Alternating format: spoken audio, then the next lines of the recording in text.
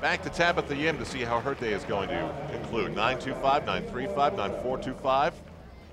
And you know what, Al? I think this is the exercise where Tabitha really shines. She's got a brand new floor routine, taking a huge risk, some very different music, but it works. It works so well for Tabitha.